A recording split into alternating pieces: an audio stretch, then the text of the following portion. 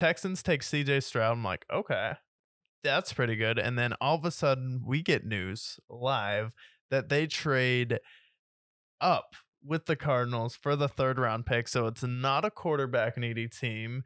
It's not the Colts making sure that they get a quarterback and no one's going to take it out from under them. It's the Houston Tuck Texans trading up so they can get their number one pass rusher. Yeah, and there were reports that the owner was like, "We need to get a quarterback. So let's draft a quarterback." But DeMeco Ryans like, "I really want Will Anderson on this team." So they decided they're like, "You know what? Why not get both?" And that's what they did. And I said in our preview, I'm like, they need they're gonna go defense because that's their priority.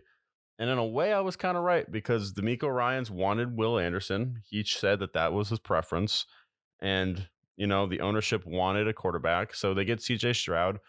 If I had to pick of the two who I think is going to be a better player in the NFL, I would pick C.J. Stroud because you know he's a little bit bigger, a little bit stockier, similar accuracy, got a little bit more mobility.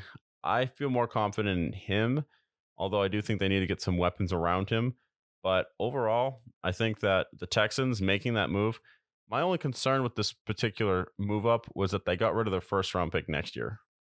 But outside of that, home run for the Texans. Yeah, it's definitely a gamble when you're a team rebuilding like the Texans are this year because definitely you need wide receiver help. So you have to be the team that goes out and gets the next unhappy wide receiver or the next uh, wide receiver whose team really doesn't want to pay him. So if you're going to give up your first round pick next year, you already have your running back.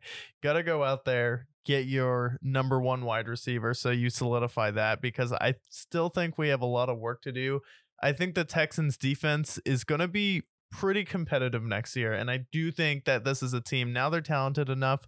They played hard last year. They're going to play hard under DeMeco Ryans that if CJ Stroud can play decent enough, I've seen Robert Saleh, former defensive coordinator similar to DeMeco Ryans under Kyle Shanahan, win games with Zach Wilson, win games with Mike White. So if CJ Stroud can be pretty good and a nice prospect, I think they can win some games. Probably in the I'm higher above that four to six range, and now you're looking at that six to nine win range with this Houston Texans team, and I think that's pretty fair.